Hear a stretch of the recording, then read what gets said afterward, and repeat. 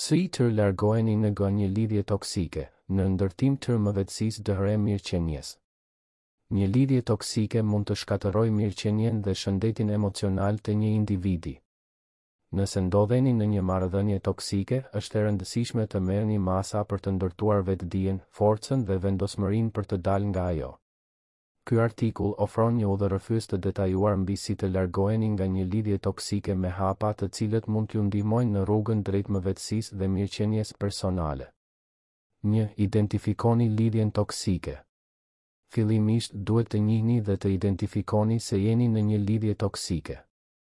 Identifikoni modele të përsëritura të sjelljeve negative, manipuluese, abuzive ose kontrolluese.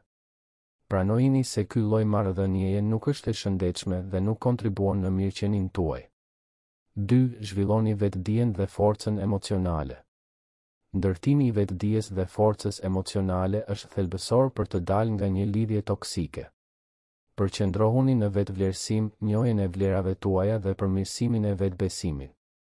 Merrni kohë për të identifikuar dhe shprehur emocionet tuaja, duke përdorur mjetet që ju ndihmojnë të relaksoheni dhe të qetësoheni, si meditimi, yoga, ose terapia e artit. Tre, kërko ndihmë profesionale. Nëse ndiheni të mbingarkuar ose nuk jeni në gjendje të përballeni me situatën vetëm, konsideroni të kërkoni ndihmë profesionale. Terapistët dhe këshilltarët e trajnuar në terapinë individuale ose familjare mund të ofrojnë ndihmë, udhëzim, dhe teknikat e duhura për të ndihmuar në navigimin e sfidave të lidhjes toksike. Katër, Krijoni një rrjet mbështetëse. Ndërtoni një rrjet mbështetëse të njerëzve që ju duan dhe ju respektojnë. Lidhuni me miqtë, anëtarët e familjes ose organizatat e ndihmës sociale të cilët mund të ofrojnë mbështetje emocionale dhe praktike. Mbledhjet me grupet e përkrahjes ose takimet me njerëz që kanë përjetuar situata të ngjashme mund të jenë të dobishme për të ndarë përvojat dhe strategjitë përballësuese.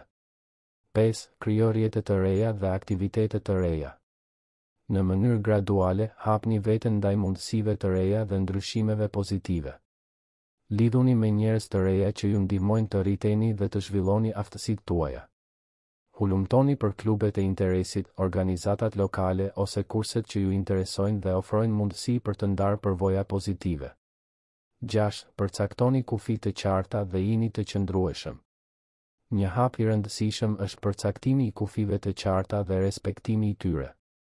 Vendosni kufij mbi sjelljet e papranueshme dhe jini të qëndrueshëm në përballjen me tentativat për t'i tejkaluar ato.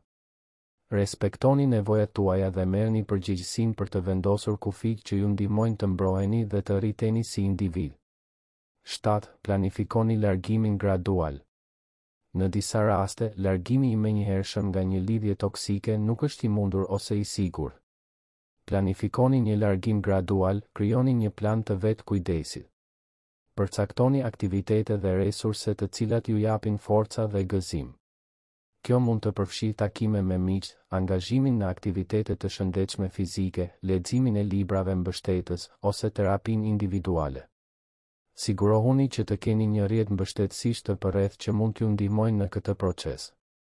Nëse ndiheni të vështirësuar në procesin e largimit, kërkoni ndihmë profesionale.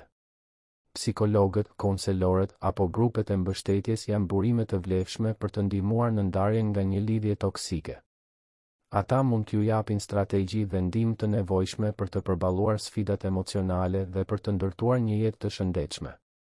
Kujtoni, procesi i largimit gradual nga një lidhje toksike është unik për secilin individ. Është e rëndësishme të jeni durimplotë dhe të kujdesshëm ndaj vetes gjatë gjithë këtij procesi. Ndjeni krenari për tregun tuaj për fuqinë dhe guximin që tregoni në marrjen e një vendimi të shëndetshëm për veten tuaj.